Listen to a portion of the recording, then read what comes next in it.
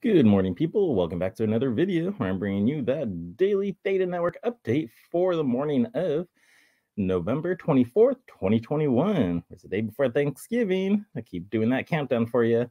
But in the meantime, let's go over the Theta numbers. So, going over Theta's Guardian node, Theta's price is at $6.79 with a market cap of $6.79 billion. There is 3,438 Guardian nodes out there, and the amount of Theta being staked is 64.64%. So, way to go. We are up 0.1%. Yeah, that's a win in my eyes. Like, I know it sounds sarcastic, but it is definitely a win. Now, moving on to Elite Edge nodes, T Fuel's price is currently at 31 cents, market cap $1.69 billion amount of elite edge nodes out there is 8,427. Now, these are edge nodes that have been upgraded to elite status by people staking their T Fuel. And T Fuel staked is at 42.98%. A little dip, but still not so bad. Going over the uh, 24 hour period, Theta is up 5.91%. And there's no way we're up. Are we up 7.61% now for the week? Like for Theta? I guess so. Like we've been like hovering up and down. So I guess, yeah, that does make sense.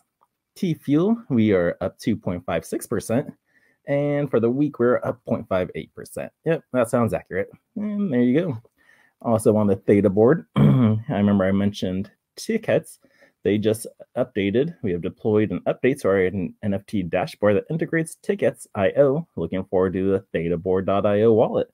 So yeah, Tkets is now you can see our NFTs on the Theta board. So woo, cool, cool, cool. And I, I've minted an NFT, and I can always look at mine on there as well. Uh, going on in the Tkets universe, we've officially sold out of all Earth NFTs. What incredible launch so far, and we appreciate all your support. We are being released more information about the events for Tkets. Genesis members soon. Stay tuned. So yeah, if you were able to get this NFT, you're a part of the Genesis project, which is, I believe, a mainnet coming through. That's right. On November 22nd, 2021, 6 p.m. mainnet. More announcements to come. So let's look forward to that. And there you have it, people. That is your Theta update. Nothing else really in the news for Theta. Nothing on the mainnet nothing on the Twitterverse, nothing in the news.